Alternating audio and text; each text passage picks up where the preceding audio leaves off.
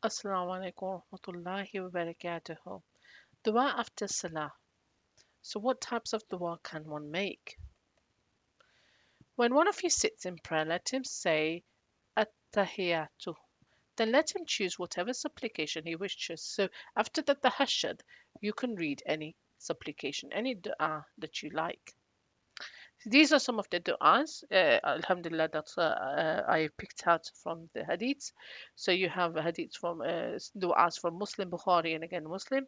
So um, the first one is uh, Allahumma ikfirli, oh Allah subhanahu forgive me, my former and latter sins, and so on.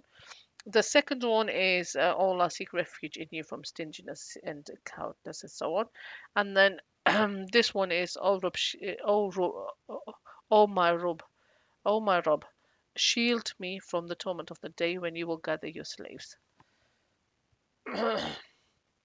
O Allah, forgive my former and latter sins. Uh, again, and then it might be due to the same um, slight differences in wording.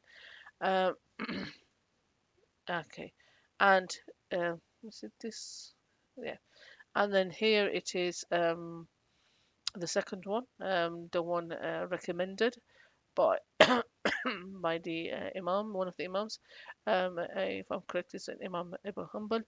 Um, the one to say, uh, I seek a refuge in the um, Adhab al Jahannam, uh, wa fitnat al um, Dajjal, I think this is it, yes.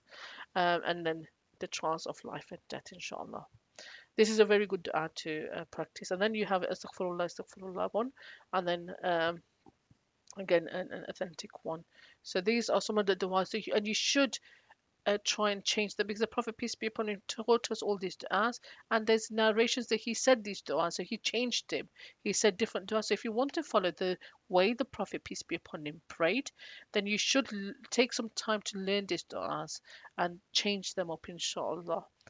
Allah subhanahu give us the strength to do that. Inshallah we'll uh, talk about the uh, in the next video جزاكم الله. السلام عليكم ورحمة الله وبركاته.